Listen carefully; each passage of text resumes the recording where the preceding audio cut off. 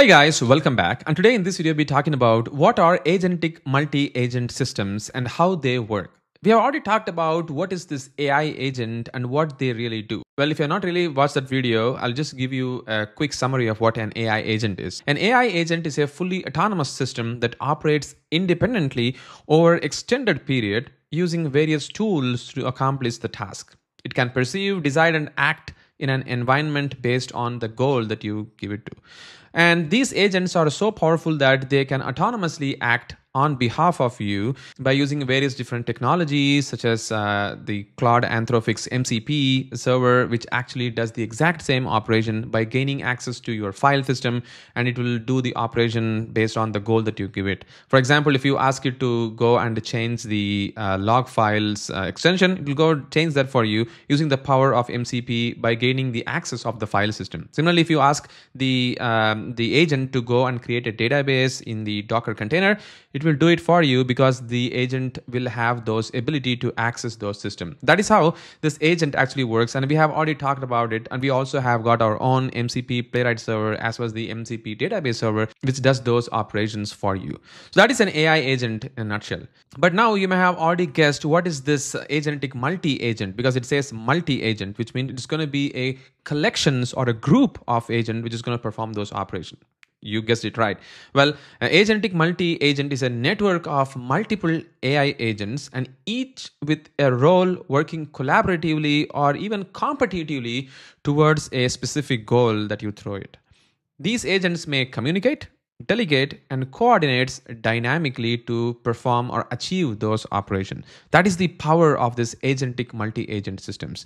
They are so good that they also know that how to accomplish a task and how to make the work efficiently done and give you the response that you're looking for. Just think of these agents as a group of domain experts for a specific task. For instance, just assume that this agent is pretty good in the banking domain and this agent is pretty good in the healthcare. And this guy is pretty good in searching online to get the answers that are relevant details and documents for you. And maybe this agent is pretty good in writing code to accomplish the same task to analyze whatever that you have analyzed from the online write the code and then send it to these agent to make the operation. So these coordinations can also be happening among these agent itself to accomplish this task. This is so powerful because this is what exactly many companies are now trying to build like a like an army of agents where this is going to achieve a specific task for you without you sweating by creating multiple different uh, agents and uh, asking one agent all the time. Rather you can just throw it to the group of agent using this multi-agentic system. They will do it for you this is scary and quite amazing. This is what is the uh, agentic multi-agent system that you can think of. And as that said, these agent will be pretty good as it said, uh, it can do a task specialization like divide and conquer. You can do things parallelly, and also it can keep scaling based on the number of agent that you create on the network. And also you can, uh, and also these agents can be modular and reusable. They can be emergent intelligent, which means they keep on learning to become more intelligent for you, and they can be dynamically adaptable based on the questions and based on the task that you that you give it to it. And also it works on a complex workflow automation to achieve those operations. These kind of things are pretty much like a RPA systems, but they are very intelligent than an RPA itself in a nutshell. So that's the power of the agentic multi-agent system. Now let's see an example of the real world agentic multi-agent system. Have you heard about the Manus from Chinese company? That's exactly doing the same thing that we're talking about. Similarly, there is something called as Magentic One, which actually do the exact same thing as well. It's from Microsoft and it does these same kind of operation like a group of the army of the AI agent which does those operation for you. And also there is something called as agile coder which does the exact same thing by doing coding operation in multiple different agent to get the job done. So these are the real world agentic multi-agent system. But now we are going to see our own custom agentic multi-agent system, like how I built it in very, very less number of code to achieve these operation.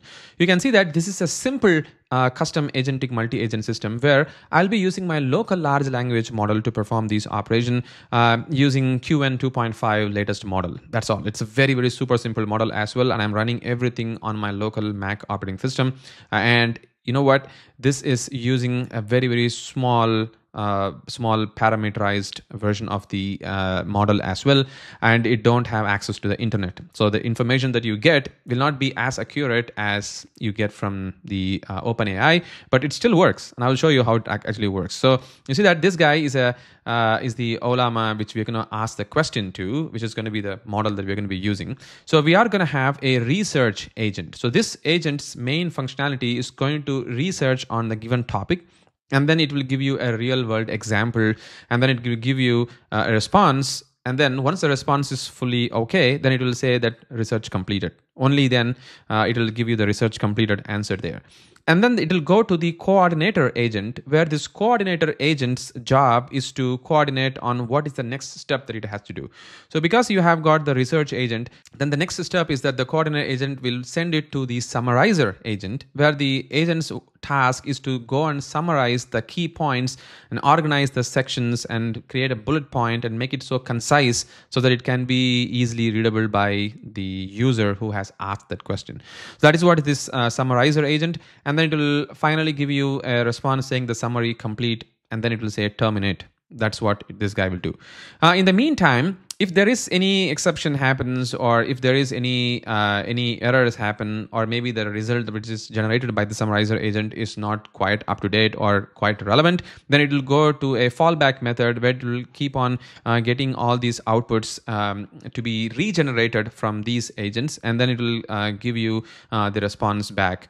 So this is how the coordinator agent will keep on doing that for you. So it, it knows that the response which is coming up is not up to date uh, or up to the mark. So it will keep asking the researcher agent to get even more detail and similarly the summarizer agent to summarize the information even better and then get the response. And if the coordinator agent is happy with the response which is coming up, then it will uh, it will finally do a combined output of all the responses and then it will uh, give a summary in the research summary over here. So uh, in a nutshell, there are three agents over here. One is the researcher agent, another one is the summarizer agent, and there is a coordinator agent. And there is going to be a group communication happen among all these agents to make an uh, task achievable.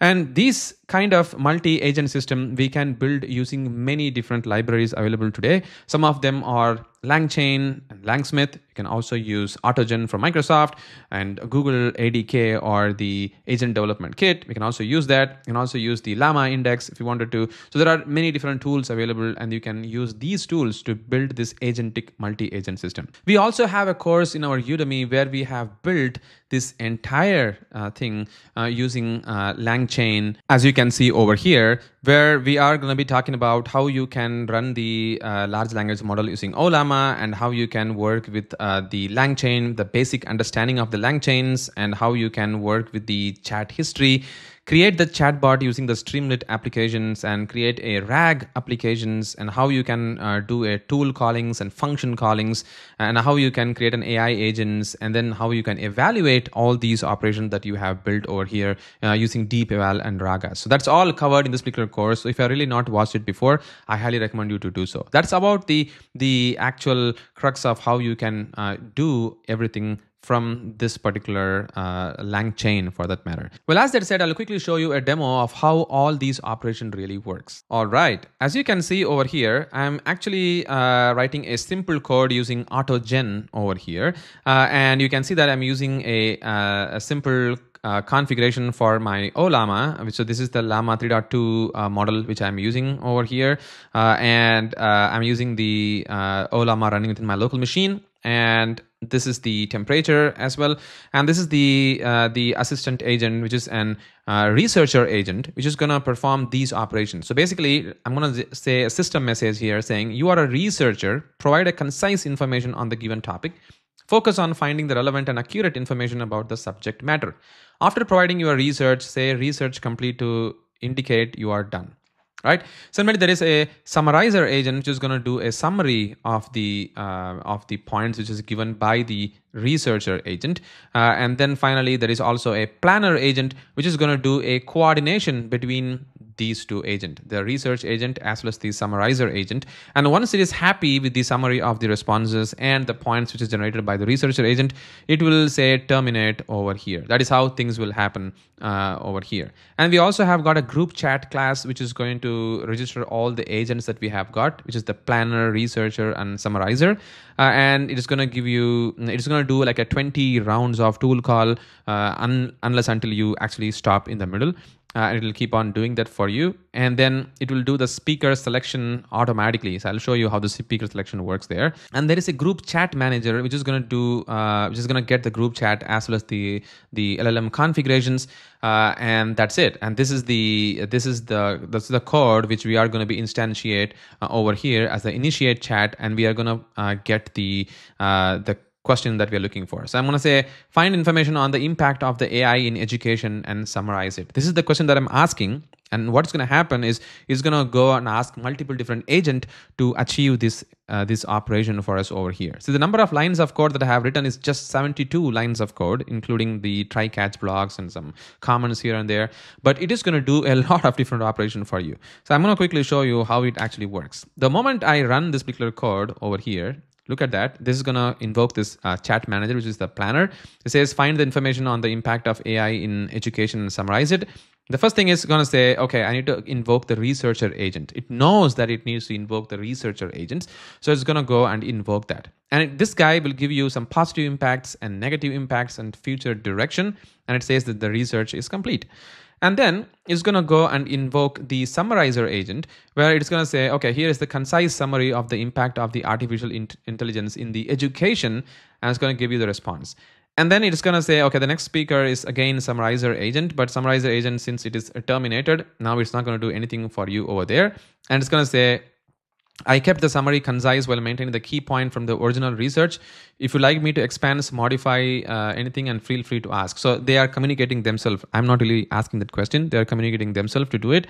Uh, and finally, you see that the summarizer agent is giving the information saying terminate, which means it's not ready to do anything any further. And then uh, you will notice that it is it is going to give you the response over here. So this is how the agents are going to communicate for you over here. It depends on the question that you're really asking in.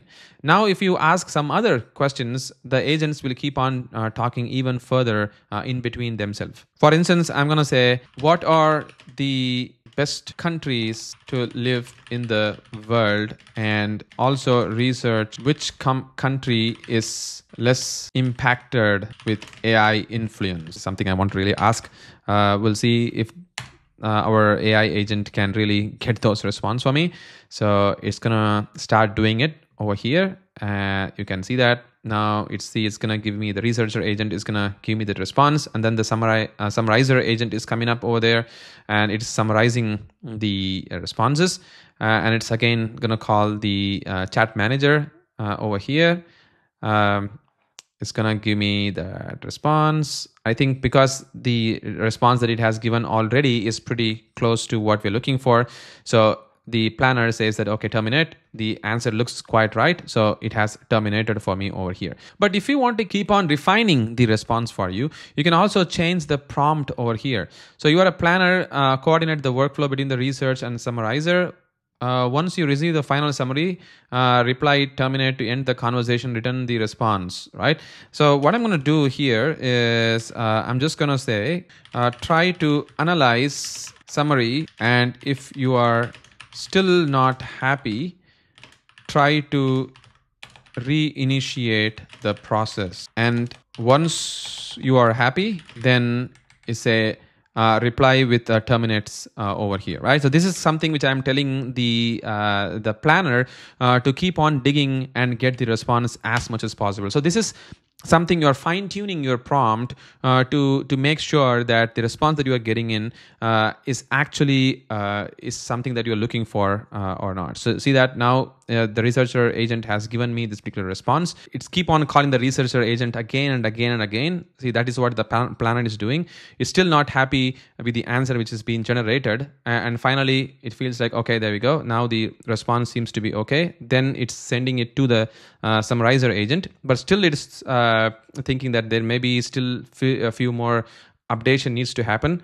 Uh, but looks like the researcher agent has given whatever that it can uh, get out of. And then it's giving you that this research is completed. And finally the planner agent is again uh, asking that i'm glad you could summarize the information, but based on my analysis, seems that Bhutan and this country are potentially the candidates of being less less impacted by the AI influence due to their limited technology advancement and strong cultural heritage. So it's now again asking the research agent, can you get me some more information? See, now with simple change of a prompt, it can keep on asking or invoking the research agent to get an even more fine-tuned response. And now look at that. Now the research agent is giving even more responses for me over there. Uh, and now it's uh, calling the summarizer agent.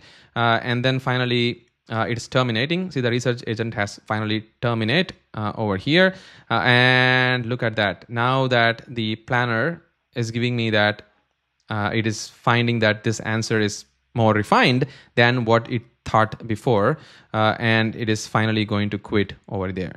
So this is quite amazing, right? Like now these these agents are talking among themselves to get a response that it feels that it is fine. That is the reason why i told you that these agents are more like a domain expert where it's going to do things for me over there uh, and finally it's going to quit over there. And there is a limitation within my own machine where i can't really do quite a lot of different operations simultaneously because already my fans are cranking uh, to uh, to actually get you the actual response uh, correctly or fastly but at least now you can see that the research is completed uh, even by the planner uh, and the response that you have got over here is the actual up-to-date information uh, based on the question that you have thrown to it so this is the power of the agentic multi-agent system where it's going to keep on talking among themselves and get you the answer that you're looking for. Uh, and this is the world that we are heading towards right now where these agents are going to be like an army of AI agents who's going to do all these things for us, removing us, and get the responses back. So let me know your thoughts about all these craziness happening the technology. Once again, thank you so much for watching this video. Catch you in the next one.